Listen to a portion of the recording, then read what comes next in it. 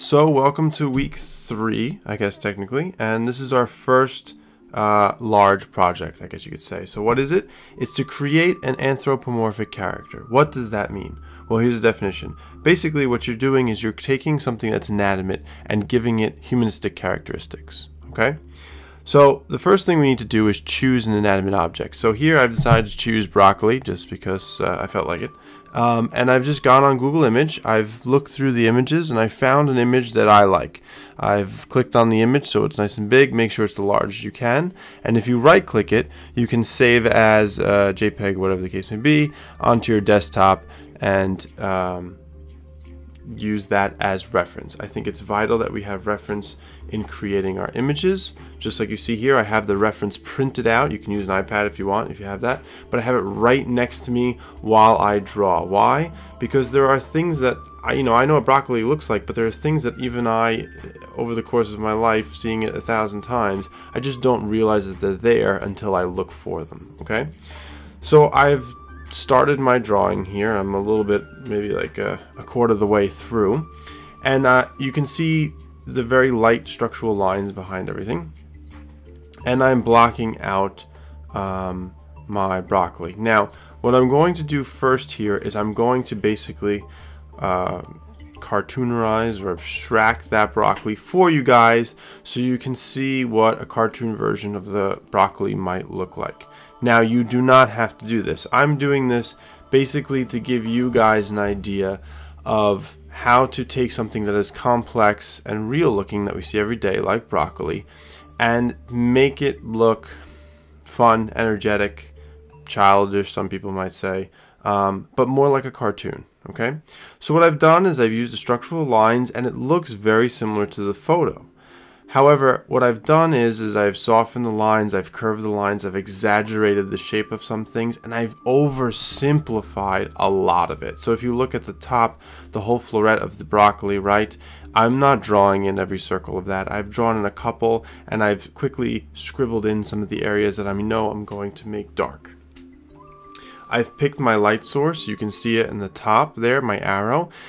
It's coming from the top left. And now that I have my light source, I know that the lines on the right hand side or the lines underneath the florets are going to be darker because they're further from the light and the lines up top are going to be lighter because they're closer to the light.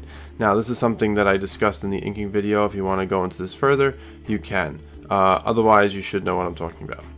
Um, anything that is going to be solid black, you can quickly mark off with X's instead of sitting there shading it in because you don't need to waste that time if you're just going to be filling it in with a Sharpie.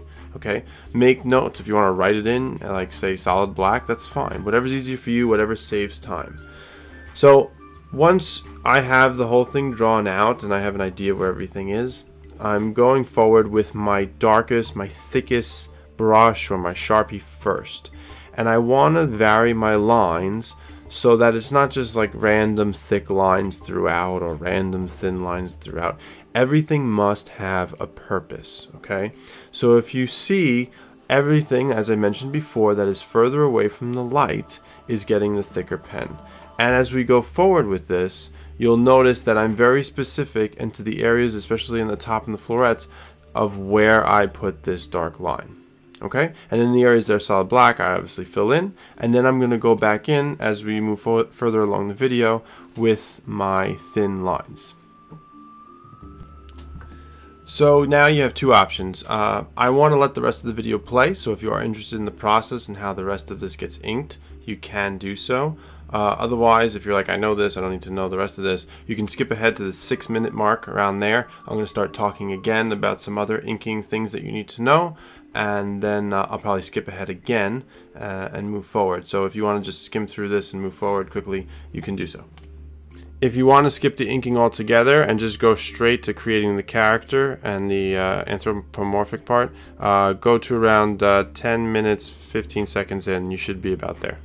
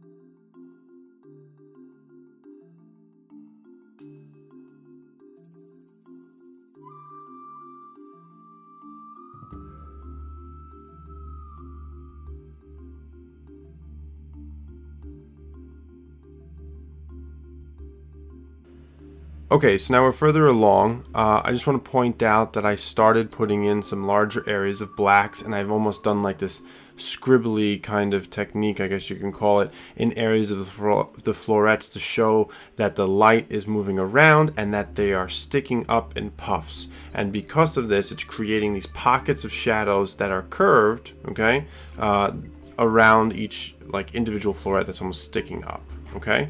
Uh, I've also put in these large uh, streaks of black down the, the stalk of the block uh, of the broccoli and uh, that just also is like a core shadow that if you if you're familiar with that means you know what that means. And if you're not watch the inking video it'll explain what it means.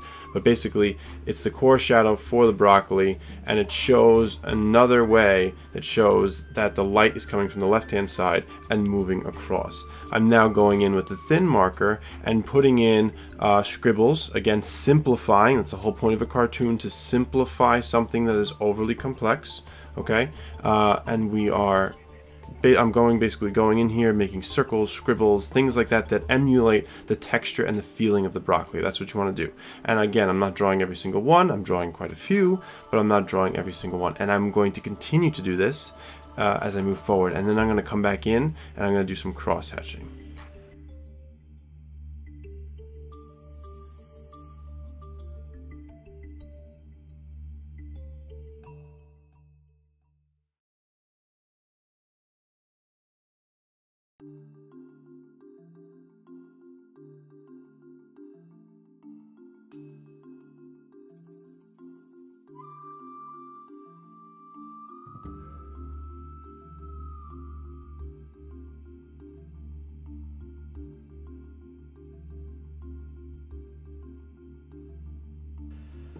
Okay, so now I'm putting in some more details. I'm looking for little imperfections, little rises in the stalk and stuff like that, and I'm putting in my cross hatching. So if you see here, the light's coming from the left, remember, I'm putting in lines that are close together that are on the right hand side of that core shadow to show that the light is moving from the left to the right, okay?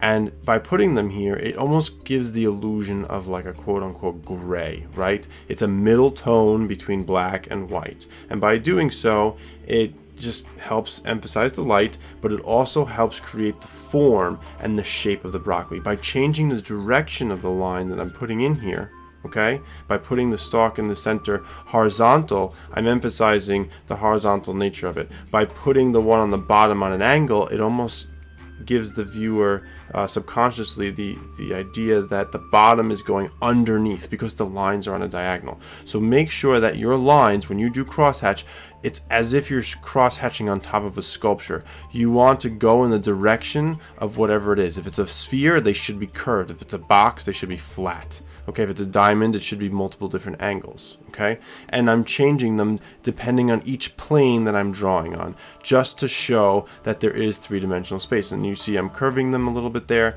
and I'm also, the one in the center is horizontal, and the ones on the left are a little bit more diagonal, to separate them and to give the viewer the reminder that one is going in one direction, and then the other plane, uh, and the other the plane, when I say plane, I mean the area in which I'm drawing on, um, is going in the other direction. Okay? One last thing before I get to the eraser too is I've added stippling, the dots, to give even more of a texture to the florets. So last things last, once it's dry, you go over with your eraser, you erase all your pencil, and you're left with this perfectly black ink. Okay, and you can scan this, photograph this, or just go out right out and color it on the paper, um, whatever you need to be. Um, this project is in color, so I would recommend coloring it before you obviously photograph it. Uh, you could also color it first and then ink on top, which will keep your inks dark. Alright, so now to the project. Um, we are now taking that object that we've chosen, whether it's broccoli or anything else, um, and I've given some other examples of what other companies have done for anthropomorphic characters uh, in the folder. So please make sure you read, watch the other videos, and check the handout with the assignment and everything out uh, before starting your project. Um, Alright, so now I'm basically doing the exact same thing that I just did for you at the cartoon, but I'm going to give this broccoli human characteristics. So now it's important to remember the stuff from the first project as far as the proportions of the human body go, because you're going to kind of rely on that a little bit uh, for your character here. You want to make sure that the you know the arm, the forearm, and the bicep are pretty similar in size. You want to make sure that the feet uh, have an arc in the center, things like that, uh, so that they look fairly human. Okay, so I'm starting off the exact same way I started the broccoli for the cartoon version, quote unquote, and that is with structural lines. So I'm basically drawing geometric shapes, squares, rectangles, cylinders, and spheres to lay out the basic shape of the broccoli, okay?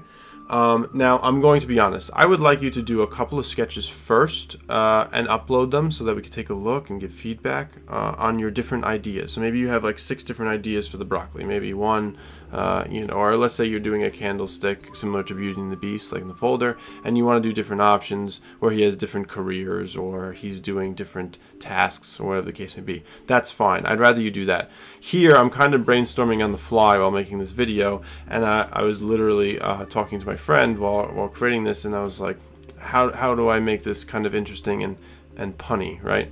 So uh, usually steamed broccoli. So I figured, why not have the broccoli just getting out of like a sauna or a steam bath and feeling fairly refreshed, you know, with the cucumbers on the eyes, the towel, the whole nine yards, right? So as I'm doing this, I'm trying to figure out the pose, where the eyes are, the teeth are, the mouth are, all those things. So I'm noticing, and if you notice in the center, I have this triangle. That's going to be the mouth. And the reason I put the mouth there is because of the way that the arms of the broccoli that reach up to the florets came together to create that like upside down triangle and it just looked like a natural cartooned mouth so I went with it you have to look for like natural things in whatever the item is that you're creating into human form, you want to look for things like a car. A lot of people say a car looks like it has a face because the bumper, the grill, and the headlights kind of make up a similar humanistic kind of character, right? Uh, where the headlights are the eyes, the bumper might be like the mustache or the mouth, uh, and the grill is like the nose or something like that. Um, so keep that in mind. Look for things that actually do look human or face-like in the object uh, that you are anthropomorphizing, if that's a word. Um, so I'm trying to figure out what to do with his arms here. I have his arm down. I have his other arm on his hip. I have the squares there for the triangle. I have the line to show that his back's going to be arched a little bit. I have the lines for his eyebrows. I have his eyes there. And I have a couple of different um, poses that I'm going to wind up going through now trying to figure out what works best compositionally, what's funnier, right? So this is why I suggest you have multiple sketches so that you can figure this out and it doesn't frankly look like a mess like this is about to look like. Um, and I changed the eyes multiple times. I had him lifting up the cucumber off one eye at one point. Um, and you can see it there. You see how the cucumber is like, oh, the circle is over the other eye. That's the cucumber. So at this point, I'm like, all right, I kind of have an idea of what I want. One arm on the hip holding a cucumber, the other one on his side. And once I have that structural line laid out, I start, again, looking at my reference photo, looking for different things that look humanistic and trying to emulate the feeling of broccoli in this character. So I, I originally was like, oh, I'll give him skinny arms, but I'm like, he's got this really thick trunk, right? So he's not going to have that skinny of arms. He's going to have kind of these like brutish arms that are uh, thicker, more so than I originally intended, right? So I did wind up thickening them up there a little bit. And you'll see the other arm that I draw at first is a little skinny and then I wind up thickening it up. And uh, I have my eraser on hand so I can quickly erase. And I'm trying to figure out like where the towel meets, like where his belly is, things like that. These are all things you should be thinking about. I mean, you have a week to do this. So I, in my opinion, that's more than enough time to be thinking about these little nuances uh, of your character. Okay. Um, so I'm also, if, if you're unfamiliar too, of like how a towel falls or wrinkles or things like that, um, I would also look at photo reference for towels and for cloth, you know, things like that. And any photo reference you can get your hands on, the better, because the more reference you have, the more realistic and believable this absolutely abstract cartoon will look. Okay, I'm also figuring out where the light is. So if you notice, I'm starting to put lines in. So where my cross hatching is going to wind up, I know the light is going to be coming from the left again. Okay, and I'm just slowly now going in with a darker pencil over the structural lines that I drew in lightly. Okay. Um, at this point, I realized I think it would be entertaining if he had a floret as a mustache. Uh, I also mark in the mouth, I bend it up a little bit so it looks a little bit more uh, human-like with a jaw. I shade in the back of the mouth so it looks like it's receding into space, okay? Leaving an area for the tongue, okay? Now, I don't believe I gave him teeth because I, I don't know, I just thought broccoli wouldn't need teeth. I mean, it's really whatever you want to do, right? It's your creation, so um, whatever you feel is your reasoning behind why a character looks the way they are, great. And if you have a reason for everything, even better. Okay? Uh, again, laying out my cross hatching, trying to figure out where the light is going the entire time. And I'm just going to move forward with this. Again, I'll let the video play so you can see the process. Uh, and I just move forward with this, doing a very similar process that I did earlier with the broccoli, simplifying the florets, simplifying the details that are complicated, and then slowly working in the human characteristics.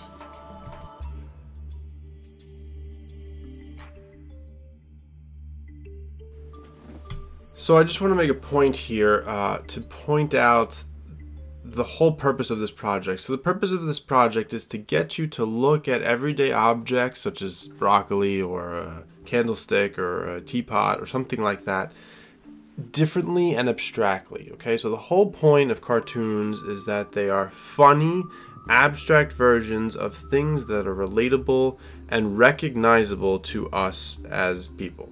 Okay, and what makes them funny is usually that they have some sort of a pun associated with them, similar to the broccoli here, um, or that they're relatable. Okay, people like things that are relatable and like, oh, that's adorable because it's ironic. Okay, or it's adorable because the eyes are overemphasized and the action that they're doing is just adorable. Regardless, you want to look for humanistic characters in the object that you are creating and you want to emphasize them. You want to bring them out. Okay, the broccoli, the floret on the top, it looks like hair. You want to use it as hair, right? And then you add the arms and the legs and everything else afterwards. And you've seen this a million times in many different cartoons. Uh, Beauty and the Beast is, is one of the prime examples that I'll, i give as well. Uh, Alice in Wonderland has it. Uh, the Brave Little Toaster, if you guys remember that movie. Um, there's a lot of cartoons, especially for kids, that utilize this technique. Okay? And it's not that uncommon, but what makes it successful, what makes it successful, is that you are taking humanistic qualities that already exist in the car, like the grill and the headlights and stuff like that, or the teapot where the actual spout looks like the nose, you're taking these qualities and emphasizing them by exaggerating them in your drawing and your cartoon.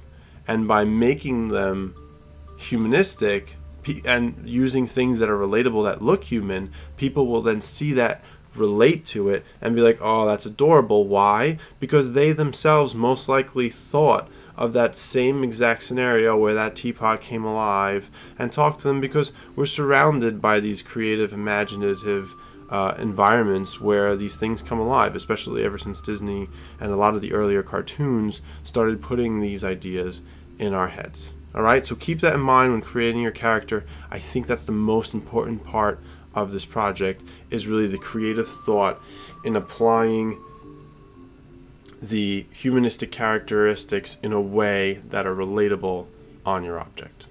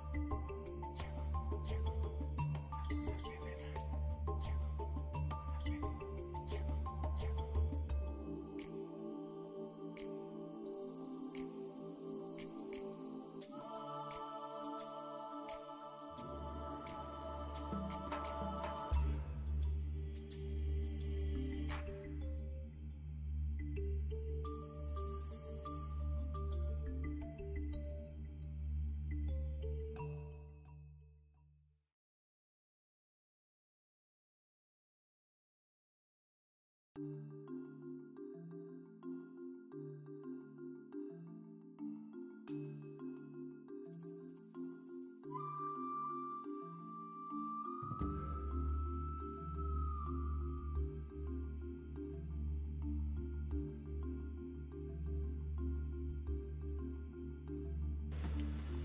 Alright, so um, I've basically laid out the whole thing. I don't spend too much time drawing in a lot of the details in the florets uh, prior to inking, basically just to save time uh, for the video. Um, and uh, I'm moving forward with the inking, and I'll wind up inking in a lot more of the detail of the florets and just with the pen, uh, just to save time. Um, but here, again, uh, exactly the way we did the other broccoli, cartoonerizing it, or abstracting it, I should say.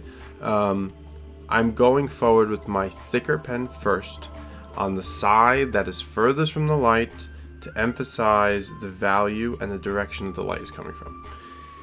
Uh, and as I, I, go forward too, if you notice too, I made his very bushy eyebrows covering his eyes, so I have to make sure that I put a darker shadow, as you can see, underneath those florets, so it looks like that those florets are sticking out like eyebrows.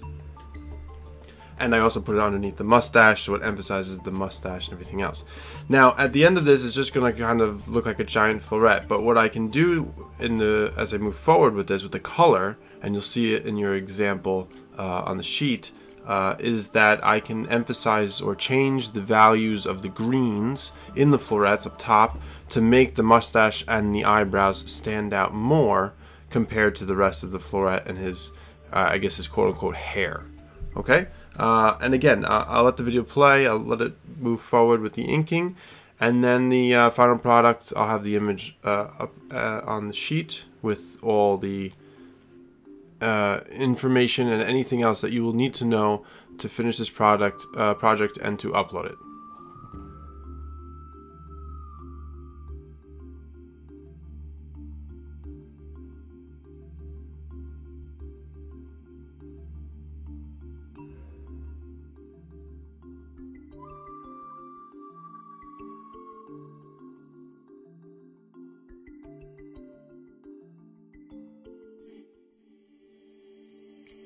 master. master.